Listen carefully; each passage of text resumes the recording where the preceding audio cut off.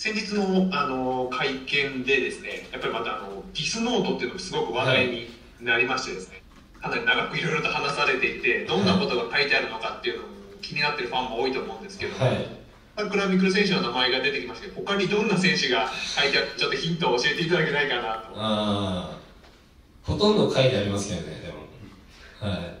あの鼻につく選手あのライジン見ててあの客観視して鼻につく選手は全員書いてます。はい。で今回対戦相手ドミネーター選手のことも書いてあったりするんですか？は書いてないですねやっぱり。あの対戦相手としてやっぱリスペクトしてるんでそこの辺は。あの僕があんまりリスペクトしてない人の悪口も書いてあります。はい。ダミネーター選手は気持ちよく戦えると。そうですねはい。裏目っこなしで真剣勝負というか正々堂々、はいはい、スポーツマンシップにのっとっていい試合をしたいと思います。ディスノートの中身今後見れる機会はありそうですか？我々は。いやいつかあるんじゃないですかね、はい、あんまり見てもいい気分にならないかもしれないですけ